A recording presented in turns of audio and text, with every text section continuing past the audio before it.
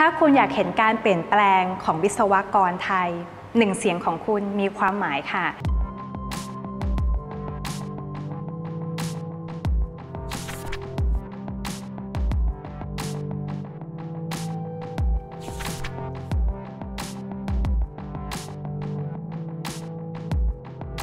คือหลังจากที่ผมได้ทำงานทางด้านวิชาชีพวิศวกรรมมาจนถึงจุดหนึ่งที่คิดว่าตัวเองมีความพร้อม ที่จะทำงานให้กับสังคมชาววิศวกร นอกจากนั้นเองเนี่ยผมคิดว่าสิ่งที่ผมจะนำมาด้วยนี่ก็คือผลงานและประสบการณ์ที่ผมมีมาในอดีต และสุดท้ายก็คือ ผมมีเวลาที่จะทุ่มเทและอุทิศให้กับการทำงานตรงนี้ครับ ปัจจุบันเนี่ยนะครับเราอยู่ในยุคที่เรียกว่า 4.0 แล้ว การทำงาน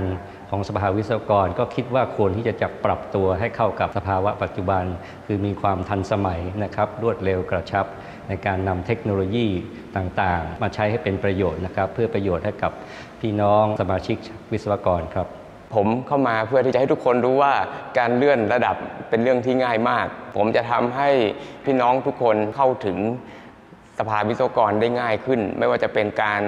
ต่ออายุ หรือการเลื่อนระดับใบอนุญาต สภาวิศวกรเอง เป็นองค์กรที่เก่าแก่เนาะเราคงต้องการคนใหม่ ๆ เข้าไปนะครับในการที่จะผลักดันสภาวิศวกร ให้สามารถที่จะสอดคล้องกับเทคโนโลยีนะครับในปัจจุบันของเด็กตั้งใจไว้ว่าจะใช้ประสบการณ์ในชีวิตนิที่สะสมมาเนี่ยเอามาใช้ในการเนี่ยแอพพลายกับสภาวิศวกร ปัจจุบันเนี่ยที่สำเร็จมาแล้วเนี่ยประมาณ 5 0 0แสนคน ถ้านำเอาวิศวกรเหล่านั้นเข้ามาสู่ระบบได้เนี่ยก็จะเป็นหนทาง ผลักดันให้สภาวิศวกรของเราเนี่ยเข้มแข็งขึ้น เราก็อยากเห็นการเปลี่ยนแปลงของพัฒนา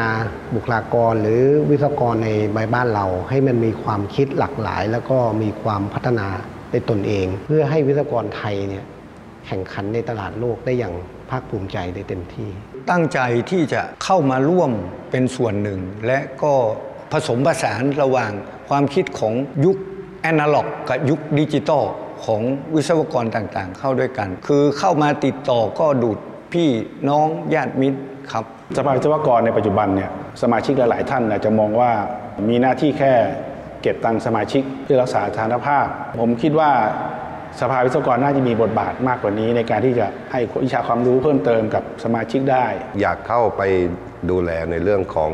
เกียรติและศักดิ์ศรีของวิศวกร เป็นที่ยอมรับในสังคมก็มาจูนหากิจกรรมที่ทำยังไงก็ตาม ให้วิศวกรเนี่ยมันเหลือสีเดียวสีเลือดหมูนั้นอยากจะมาทำให้สภาวิศวกรเป็นของวิศวกรทุกคน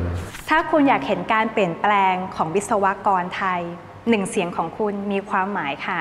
ตั้งแต่วันที่ 21 กรกฎาคม ถึง 31 สิงหาคมนี้ กลับไปที่บ้านนะคะ เปิดตู้ไปรษณีย์ของคุณค่ะ ถ้าได้รับซองจดหมายจากสภาวิศวกร เปิดเลยค่ะ คุณจะเจอใบลงทะเบียนอยู่ 1 ใบ ใน 1 ใบนั้นนะคะ จะสามารถลงคะแนนได้ 2 ฝั่ง ฝั่งหนึ่งเป็นสาขาทั่วไป กับอีกฝั่งหนึ่งค่ะ เป็นสาขาคณาจารย์ ลงทั้งคู่เลยค่ะ ไม่มีอะไรผิด ไม่มีอะไรถูก นับทั้งคู่เลยค่ะ ลงคะแนนเสร็จเรียบร้อย พับใส่ซอง ส่งกลับมาที่สภาวิศวกรนะคะหนึ่งเสียงของคุณจะมีความหมายและสามารถร่วมกันพัฒนาประเทศของเราได้ อย่าลืมกลับไปเช็คตู้ไปรษณีย์นะคะ